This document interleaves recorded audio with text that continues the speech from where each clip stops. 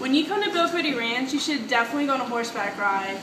Um, the horse ride was amazing. And the four-hour, uh, Horse ride, amazing. you got to do the four-hour, not the two-hour, because it takes you to the top of the mountain, and it was awesome, uh, absolutely awesome.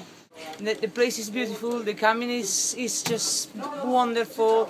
Everybody is so nice, so nice. We had the best time ever. We definitely would like to come back. What do people say when they leave the ranch?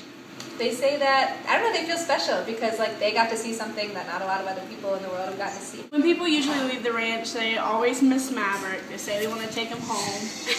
I'm very happy.